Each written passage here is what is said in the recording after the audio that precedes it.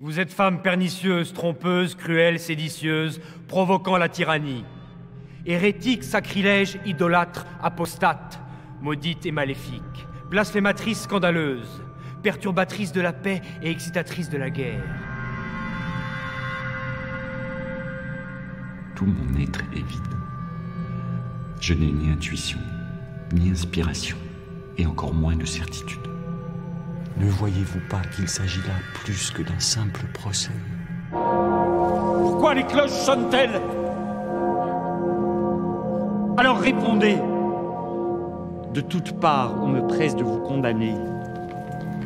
Mes doutes sont le dernier rempart entre vous et le châtiment qu'on m'impose de vous infliger. On vous a sommé d'administrer les débats, non de les diriger au gré de votre conscience. La pucelle est innocente. Et ses crimes bien grands que de la condamner. Je n'ai pas eu de signe pour me le prouver. Révoque.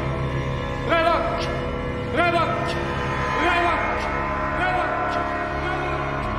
A-t-on jamais vu pareille obstination chez une femme? Pareil aveuglement.